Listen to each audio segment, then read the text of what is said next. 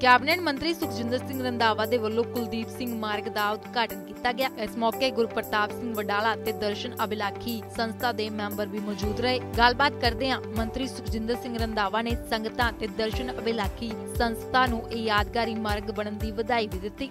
ਬਹੁਤ ਹੀ ਸਾਨੂੰ ਖੁਸ਼ੀ ਇਸ ਗੱਲ ਦੀ ਕਿ ਜਿਹੜੀ ਭਾਵਨਾ ਸੰਗਤ ਦੇ ਵਿੱਚ ਪਾਈ ਜਾਂਦੀ ਸੀ, ਜਿਸ ਭਾਵਨਾ ਨੂੰ ਲੈ ਕੇ ਵਡਾਲਾ ਸਾਹਿਬ ਨੇ 18 ਸਾਲ ਇੱਥੇ ਆ ਕੇ ਸੇਵਾ ਕੀਤੀ ਗੁਰਦੁਆਰਾ ਕਰਤਾਰਪੁਰ ਸਾਹਿਬ ਦੇ ਲਾਂਘੇ ਵਾਸਤੇ ਆਪਣੇ ਸਾਰੇ ਸਾਥੀਆਂ ਨੂੰ ਨਾਲ ਉਹਨਾਂ ਨੇ ਸ਼ਾਮਲ ਕੀਤਾ।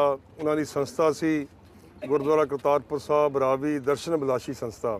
ਸਾਰੇ ਉਹਨਾਂ ਦੇ ਜਿਹੜੇ ਸਾਥੀ ਅੱਜ ਖੜੇ ਨੇ, ਨਜ਼ਰ ਆ ਰਹੇ ਨੇ।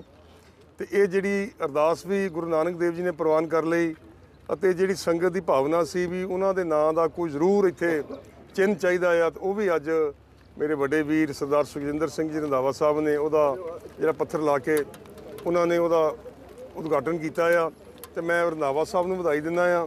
ਪੰਜਾਬ ਸਰਕਾਰ ਦਾ ਵੀ ਧੰਨਵਾਦ ਕਰਦਾ ਆ ਕਿ ਉਹਨਾਂ ਨੇ ਇਹ ਜਿਹੜੀ ਸੰਗਤ ਦੀ ਭਾਵਨਾ ਨੂੰ ਪੂਰਾ ਕੀਤਾ।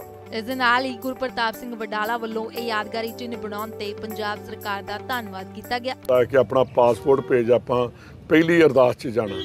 ਤੇ ਉਸ ਵੇਲੇ ਮੇਰੀ ਉਂਗਲ ਫੜ ਕੇ ਉਹ ਉੱਥੇ ਲੈ ਕੇ ਗਏ।